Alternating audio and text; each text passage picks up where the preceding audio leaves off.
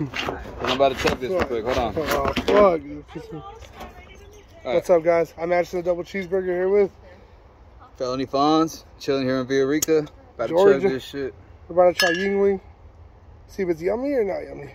Come over here.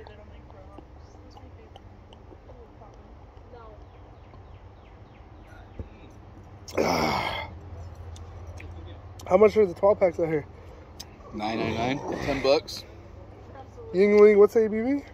Four point five, I think. 4.5. I give this a solid like 7.3. It's pretty yummy. Eight out of What do you ten. Eight out of ten. Eight out of ten. It's pretty smooth. It's considered a light beer, but it's a lager. Yeah, they don't have these back good. home, but it's pretty yummy. Five. Check them out, review.